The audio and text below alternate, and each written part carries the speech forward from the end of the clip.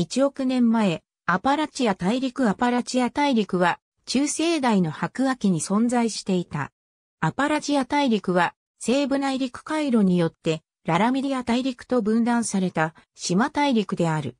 この回路は地殻変動、海面変動などの多数の要因によって約4000万年間北アメリカ大陸を東西に二分していた。回路は最終的に拡大し、白亜紀の終わりにダコタを横断し、メキシコ湾とハドソン湾に向かって後退した。このこととロッキー山脈の上昇に伴い、北アメリカ大陸に島軍が飲み込まれた。後期白亜紀のセノマニアン期からカンパニアン期にかけて、アパラチアは残りの北アメリカ大陸から分裂した。西部内陸回路はマーストリヒチアン期まで存在していたが、最終的にララミディアとアパラチアは繋がった。これによって生物相の混合が起こり、ララミディアの生物相は、ティラノサウルス類、角竜類、堅頭竜類や、曲竜類による支配によって開発され、大きく変化した。化石に乏しい鉄鉱床が多いことと、主にアパラチア北部の化石層の半分が、更新世の氷河時代によって破壊されていることにより、アパラチア大陸については、ニュージャージー州で発見される植物、海洋生物、昆虫以外はわずかなことしか知られていない。氷河期によって破壊されなかった様々な化石層の多くは古生物学の分野ではまだ調査されていない。さらにエドワード・ドリンカー・コープとオスニエル・チャールズ・マーシュがアパラチア大陸の化石に興味を持たなかったため、彼らが記載した化石は不正確に分類されたままである。この地域で見つかる白亜紀の陸生動物はわずかで、当時に陸生生物を理解することは難しいが、過去数年間に行われたいくつかの発見により関心が少し復活した。安倍シンクルイ層、エリスデール化石サイト、ムーアビルチョーク類層、デモポリスチョーク類層、ブラッククリーク部層、そしてニオブララ類層が知られており、これらの地域で進行中の研究と合わせ、忘れ去られた古生物の世界の姿をよりよく見ることができた。アパラチア大陸は、ケベック州とニューファンドランド、ラブラドール、アメリカ東部及びアメリカ中東部にまで広がっていた。発見される化石は、これらの地域が白亜紀に沿岸平野と沿岸地域に覆われていたことを物語っている。一部の科学者は、西部内陸水路が白亜紀の終わり近くまでララミディアとアパラチアを分けていた間に群島が形成されたという説を提唱した。これはおそらく恐竜が湾岸に移動することを可能にし、アパラチアの二つの生物群衆の動物賞にいくつかの顕著な違いがあることに対する説明となる。例えば、南東部の群衆には、アパラチオサウルスなどのいくつかのティラノサウルス類、エオトラコドンやロフォロトンなどのハドロサウルス類、ノドサウルス類、ドロマエオサウルス類が生息し、北部の群集にはドリプトサウルスなどのティラノサウルス類、ハドロサウルスなどのハドロサウルス類、小型獣脚類、及びランベオサウルス亜科が存在していた。脊椎動物の化石は、アラバマ州、ジョージア州、ノースカロライナ州、サウスカロライナ州、ミシシッピ州、ミズーリ州、ケンタッキー州、テネシー州、カンザス州、ネブラスカ州、アイオワ州、ミネソタ州などの大西洋沿岸に沿って発見されている。白亜紀にアパラチアの一部だったカナダの地域にはマニトバ州、オンタリオ州、ケベック州、ヌナブト、ニューブランズウィック、ニューファンドランド及びラブラドール、ノバスコシアが含まれる。セノマニアン期からマーストリヒチアン期にかけてアパラチア大陸には様々な恐竜のグループが生息していた。ハドロサウルス上科、ハドロサウルス科、長脚類、ノドサウルス類、レプトケラトプス類、オルニトミムス類、ティラノサウルス浄化、ドロマエオサウルス類、マニラプトラがそれに含まれる。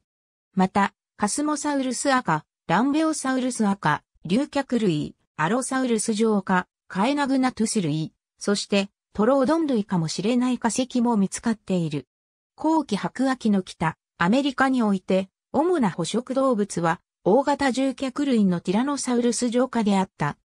アパラチア大陸においてもティラノサウルス類は頂点捕食者だったが、ゴルゴサウルスやアルバートサウルス、リトロナクスのようなララミディア大陸のティラノサウルス類の方がより強大だった。アパラチアではより小さいドリプトサウルスが頂点捕食者だった。ドリプトサウルスは近縁種のように大きな頭とたくましい体つきをしていたが、ディロングやエオティランヌスのようなより基盤的なティラノサウルス類に長い腕と3本の手指を持っていた。ドリプトサウルスは最大級のティラノサウルス類ほど大きくはないが、ニュージャージー州のポトマック層で発見された化石は、他のティラノサウルス類と同様の巨体への進化の特徴が見られる。三つの異なる属のアパラチア産ティラノサウルス類が知られている。ドリプトサウルス、アパラチオサウルス、そして最近発見された低ヒベナナトルである。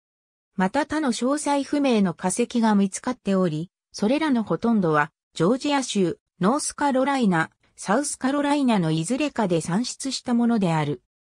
アパラチアの堆積物から後足の化石が発見された、ある未命名のティラノサウルス類は全長9メートルと推定されており、白秋末期の間もそういった基盤的ティラノサウルス類の多様性は高いまま保たれていたことを示唆する。これらの葉の化石はおそらくアパラチオサウルスの一種、またはティラノサウルス類の未記載種に属す。ディプロトドンとして知られる第4のアパラチア産ティラノサウルス類の可能性もあるが、この属は独自性の疑わしさゆえに顧みられることがほとんどない。ニュージャージーとデラウェアの化石、特にマウントローレル累層とマーチャントビル累層は共に基盤的ティラノサウルス類が予想されていたよりもはるかに多様であり、それらの一部は全長8から9メートルに成長し、一部はララミディア産の派生的ティラノサウルス類と同じサイズになることが明らかになった。セノマニアン期の堆積物由来の化石は、白亜紀中頃から絶えず、ティラノサウルス類が生存していたことを示している。ティラノサウルス類はアパラチア大陸で唯一の捕食性恐竜ではなかった。サウロルニトレステスにかなり近縁な未命名のドロマエオサウルス類の化石もよく知られている。それらのほとんどは、ミズーリ、ノースカロライナ、サウスカロライナ、アラバマ、ミシシッピ、及びジョージアのような南部の州で発見されている。ノースカロライナ州カンパニアン期のタールヒール層における発見は、サウロルニトレステスとダコタラプトルの中間ほどの大型ドロマエオサウルス類が存在していた可能性を示唆している。葉のみで知られているが、この発見は、大型ドロマエオサウルス類がアパラチア大陸の動物省の一部であったことを示唆する。ドロマエオサウルス類の化石とともに、ミズーリ州でもティラノサウルス類とオルニトミムス類の可能性のある化石が発掘された。また、ドロマエオサウルス類の化石は、アパラチア北部地域に比べて南部に多く見られ、そのサイズは小さなものから巨大なものまである。コエロサウルスのような多様なオルニトミムス類の骨がアパラチアから報告されている。ミズーリ、ミシシッピ、アラバマ、ジョージア、及びメリーランド、ニュージャージー、デラウェアのような北部の州発見されたものであるが、今日それらのうちいくつかは若いドリプトサウルスか様々な未記載のオルニトミムス類であると信じられている。2019年に主に完全な骨格がまだ発掘されていないという事実により、オルニトミモサウリアの明確な種はまだ断定されていない。しかし、それらのほとんどは、ララミディアの禁煙種と同じサイズであったと仮定することができる。アパラチアの良好な化石を保存した稀有な化石サイトの一つであるテキサス州のウッドバイン層からの化石は他の獣脚類が西部内陸回路が最初に形成された頃にアロサウルス状化、トロードン類、カエナグナトゥス類、ドロマイオサウルス類、及びティラノサウルス類がアパラチアを割歩していた可能性があることを明らかにしている。アパラチア大陸における別の普通的なグループ、おそらくこの地域で最も広く分布している恐竜はハドロサウルス浄化だった。彼らは今日、基盤的ハドロサウルス類がランベオサウルスアカやサウロロフスアカへと多様化し、最終的にララミディアやアジア、ヨーロッパ、南米、南極へと進出した者たちの故郷に生息していたものと考えられている。そして彼らは中生代の末までそこに存在していた。ララミディアの化石記録が驚くほど多様なハドロサウルスの形態を示しているのに対し、アパラチアのハドロサウルスの化石は化石層の数が比較的稀であるために多様性が少ないと思われている。しかし、アパラチアでは、プロトハドロス、クラオサウルス、エオトラコドン、ロフォロトン、ヒプシベマ、そしてハドロサウルスなど、多くのハドロサウルス類の属が知られている。アパラチアのこれらのハドロサウルス類は、サウロロフスアカとはみなされていないにもかかわらず、クリポサウルスやエドモントサウルスのようなララミディアのクレストのないハドロサウルス類と近縁だったと考えられている。クラオサウルスは西部内陸回路を漂ってカンザス州で見つかった標本から知られており、これはアパラチアの動物である可能性がある。ハドロサウルス類の化石は、アイオワとテネシーでも断片的なものが発見されているが、クーンクリーク層のヒプシベマクラシカウダヒプシベマ、クラシコダが最も特筆すべきである。50フィート以上の全長になるヒプシベマは、東方系ハドロサウルス類の中で最大で、ランベオサウルスやサウロロフスのようなより派生した正方形ハドロサウルスのいくつかに匹敵する。この属は、おそらく他の地域の大きな竜脚類によって占められた環境的ニッチを取り、おそらくマグナパウリアやシャントゥンゴサウルス、エドモントサウルスのような巨大なサイズに成長したヒプシベマミズーリエンシスヒプシベマミズリエンシスはハドロサウルス類の別の大型種であるが45から49フィートの全長に成長しクラシカウダ種ほど巨大ではなかった。1945年に初めて発見された際は、流脚類と誤認された。ヒップシベマミズーリ演出は、おそらくアパラチア、そしておそらく他のすべてのアパラチアに生息していた。ハドロサウルス類は植物を食べるための虚子を備えていた。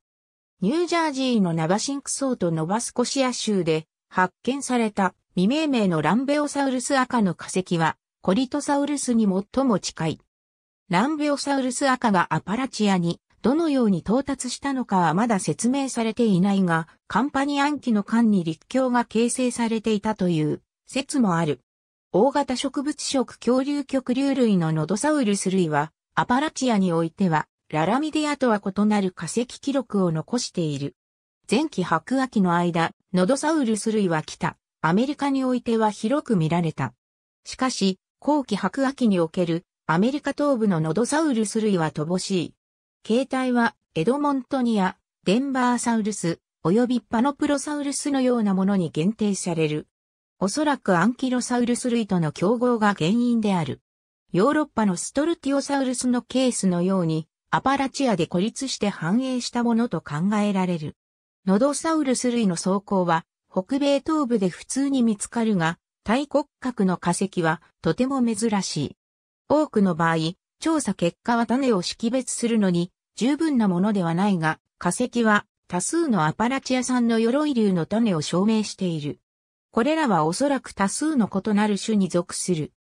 白亜紀のアパラチアのノドサウルス類の5つのよく知られた例は、プリコノドン、プロパノプロサウルス、ニオブララサウルス、シルビサウルスそしておそらくヒエロサウルスが挙げられるが、それらの有効性には議論の余地がある。クラオサウルスの標本のように、ニオブララサウルス、シルビサウルス、並びにヒエロサウルスの標本は、東から西部内陸回路を漂流してきた可能性がある。これらのノドサウルス類は、カンザス州の有名なチョーク層群で発見された。そして北米西部の他の地域からは知られていない。カンザスはまた、西部内陸回路によって他の部分が覆われていた時期、アパラチア大陸の一部だった。当時のララミディアにおいては、非常に普通的であった派生的角竜類、ケラトプス科の化石は、アパラチアにおいては長い間知られていなかった。どういうわけか、レプトケラトプス類は、アパラチアに生息していた。カンパニアン期のレプトケラトプス類は、ターヒール類層で発見され、アパラチア大陸の最初の角竜の発見場所となった。この標本は異様に長く、細く、下向きに湾曲した上顎を持ち、特殊な切字戦略を備えた動物であり、島環境での種文化の一例であることを示唆している。最近、ケラトプス類の歯がミシシッピのアウルクリーク層で発掘された。6700万年前の地層である。白亜紀の終わりまでにセントロサウルス赤は北米から完全に絶滅していたので、この歯の持ち主はおそらくカスモサウルス赤と思われるが、シノケラトプスの例が示す通り、セントロサウルス赤もアジアでは依然繁栄していたので断定はできない。近年発見された数少ないレプトケラトプス類はアパラチア南部で発掘されたが、ニュージャージー、デラウェア、メリーランドなどのアパラチア北部の州では完全に存在しないとみられる。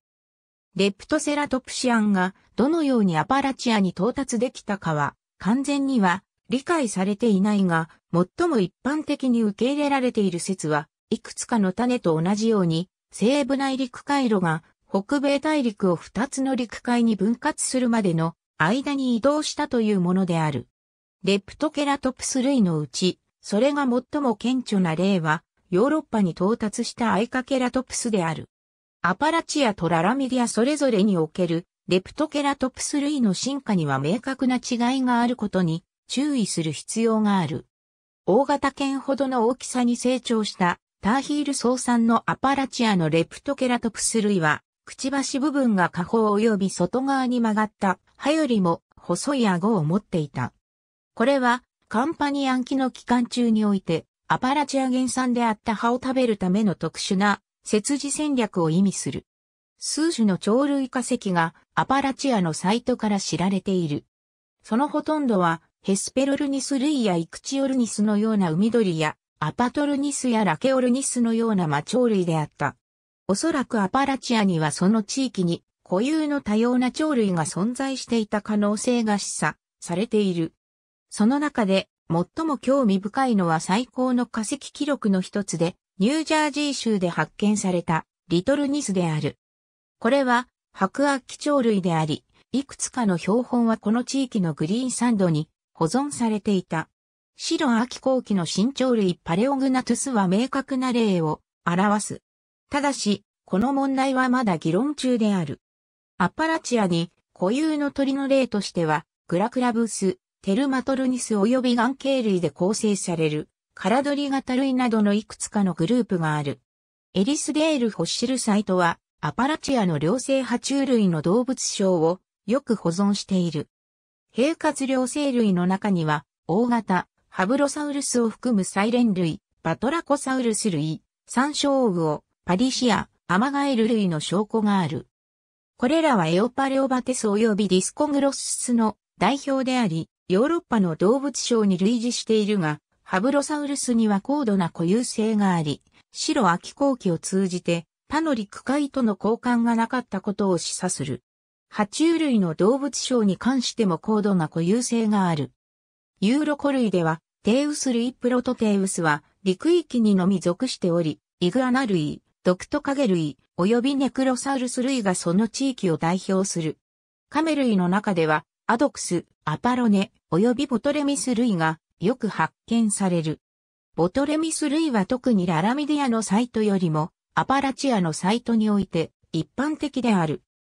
八つの固有のワニ類除く、ウォードビネスクス、ボットサウルス、デルタスクス、デーノニクス、トラコサウルス、エオトラコサウルス、レーディオスクス、ボレアロスクスはララミディアでも同様に確立されており、おそらく彼らの海洋横断能力を示唆している。デーノスクスは化石記録上最大のワニであり、恐竜を捕食する、その地域の頂点捕食者の一つだった。それは、ララミディアでも同じ状況だったが、彼らの食事の大半は亀を含んでいた。しかしながら、ワニたちは、機会があれば、やはり恐竜も食べたと思われる。大型オルニトミムス類の大腿骨に、ワニの髪跡が見つかっており、現代のワニのように陸生動物を捕食していたことを示唆する。ディロサウルス類、特にディロサウルスとヒッポサウルスの化石もニュージャージー、アラバマ、サウスカロライナのアパラチアのサイトから発見される。翼竜の化石はプテラノドンとニクトサウルスが最も一般的であり、ジョージア州、アラバマ及びデラウェアで発見されている。アズダルコ類の化石もテネシーから報告されている。膨大な量の翼流の標本が西部内陸回路の時代のアパラチアの一部から見つかっている。アパラチアの翼流はカンザスとテキサスからも発掘されている。プテラノドン類はアパラチアにおいて最も普通的グループでプテラノドン、ニクトサウルス、ゲオステルンベルギア、ダウンドラコそしてアラモダクティルスの語族が報告されている。アエトダクティルスやキモリオプテルスと命名されたオルニトケルス類やアンハグエラ類のメンバーも記載されている。巨大アズダルコ類のアランボールギアニアはテネシーで発見された。ヘビ類の化石はアパラチアの白亜系からは発見されていない。その年代のヘビ類はララミディアのみで知られる。数種の哺乳類もエリスデール・フォッシルサイト、ノースカロライナ及びサウスカロライナで発見されている。最も一般的なのは、メソドマやクリモロドンのようなプティロドン類の大 oka 葉類である。種の多様性、及び他の白亜気候期の地域と比較して早い時期に出現していることは、プティロドン類がアパラチアで発生したことを示唆している。アルファドン、ヘルペトテリウム類、スタゴドン類を含む50類も知られている。プティロドン類と違って、50類の固有性の度合いは低く、ララミディアやヨーロッパとのわずかな交流を示唆する。この分野の研究により、哺乳類はアパラチアにその起源を追うことができ、固有の多球種類が数種存在することが明らかになった。魔獣類の化石としては最も顕著な薄葉がミシシッピで発掘された。アパラチアの陸生動物賞については最近までほとんど知られていなかったが、この地域の海洋生物及び近くの西部内陸水路に住んでいた生物は古生物学者によって長年にわたってよく研究されてきた。白秋から海洋生物の遺骸を保存してきた化石サイトの例にはニオブララ層、デモポリスチョーク層、ムーアビルチョーク層などがある。アパラチア大陸の近くに住んでいた海洋動物の例には、軟骨魚類、甲骨魚類、貝殻類、主張流類及び当時の頂点捕食者モササウルス類が含まれる。ありがとうございます。